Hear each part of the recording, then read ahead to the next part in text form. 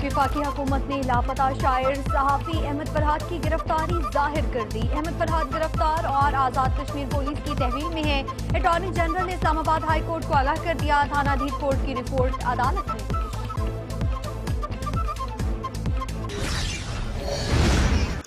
बातें आज पे दिल की थी या मेरा दिल नहीं कर रहा कि मैं और बात नहीं तारिक साहब सेक्टर कमांडर आपसे ज़्यादा बड़ा होता है कि वो नहीं अदालत आया आप आगे। सेक्टर कमांडर के ऊपर आप जज्बाती क्यों हो जाते हैं? प्रेस मैं कॉन्फ्रेंस का नहीं होता मैं आइन पढ़ के आता हूँ और आइन की बात करता हूँ।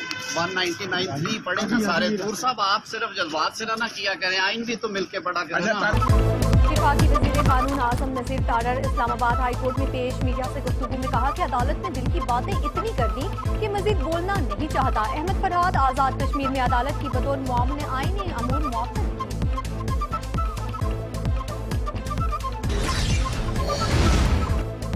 अहमद फरहाद को हाला नाके पर गिरफ़्तार करके धीप कोर्ट थाने मुंतकिल किया। आज़ाद कश्मीर पुलिस के मुताबिक अहमद फरहाद ने नाके पर पुलिस एहलकारों से बदतमीजी की। कार्य सरकार में मुदाखलत पर अहमद फरहाद को गिरफ़्तार किया। अहमद फरहाद बाग जा रहे थे।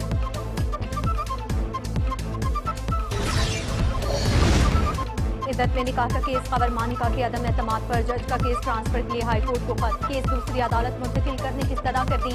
खबर मानिका और उनके वकला ने हमेशा समाज में खलल डालने की कोशिश की। खत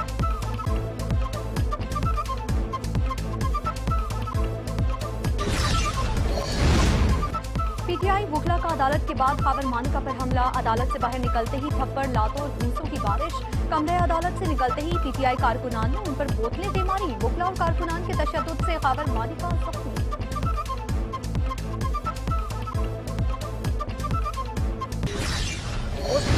बड़ी गैर अखलाकी गुफ्तगु कोर्ट के अंदर की है ऐसे अल्फाज अदा किए जो हम इस कैमरे के सामने बता नहीं सकते। हमने जज साहब से रिक्वेस्ट की कि प्रोसीडिंग आपने कंडक्ट करने इतने सारे लोग आए हुए हैं। हम इंसाफ की खातिर, इस केस के आखिरी फैसले की खातिर कि आज ये कंक्लूड हो और आपकी तरफ़ से जजमेंट अनाउंस हो, इसके लिए हम खामोश हैं। जज साहब पे प्रेशर डाला गया। ये एक प्री प्लान की तरह हुआ है। जज साहब को कहा गया कि ये केस आप ना सुने। मानिका ने अदालत में नाजेबा जबान इस्तेमाल की। इद्दत में निकाह केस का फैसला न सुनाना प्री प्लान है।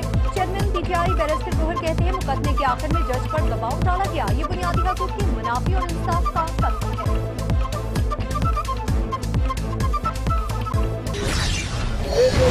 साजिश थी खान साहब को।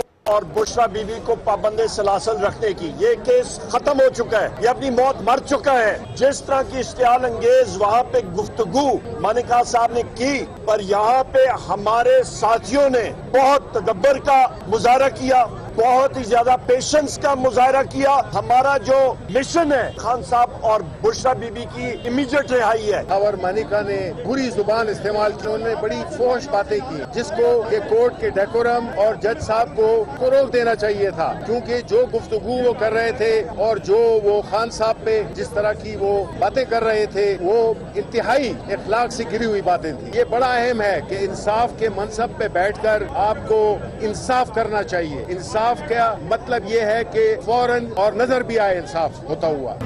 हमारा मिशन बानी पीटीआई और बुशरा बीवी की फौरी रिहाई है। उमर युग कहते हैं इधर केस खत्म हो चुका, अपनी मौत मर चुका, शिबली फराज बोले खावर मानिका ने इखलाक से गिरी बातें की। अदालतों में इंसाफ होता नज़र आना चाहिए।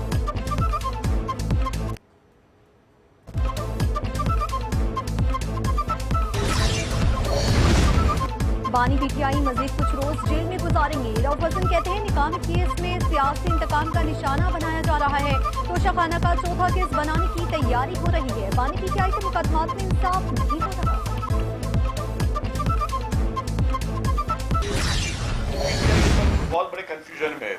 अकाउंट किसका? इमरान का पर्सनल अकाउंट में से ये ट्वीट हुई है। और मेरी इतला ये है कि ये पर्सनल अकाउंट इनका अडियाला जेल में ऑपरेट हो रहा है। ये फैसिलिटी उनकी अडियाला जेल में उनको मिली हुई है। ट्विटर अकाउंट उनका पर्सनल ट्वीट होता है। 24 घंटे तक कोई तरदीद, कोई मुजम्मत नहीं होती। जब हम सबने ये चीज़ें उठाई मीडिया में सवाल किए कि ये शख्स किस नहज तक पहुँच गया है कि अपने ही मुल्क के इदारों के खिलाफ, अपने ही मुल्क की फोर्सेस के खिलाफ अपने ही मुल्क के खिलाफ किस हद तक घिनौनी साजिश ये शख्स कर सकता है?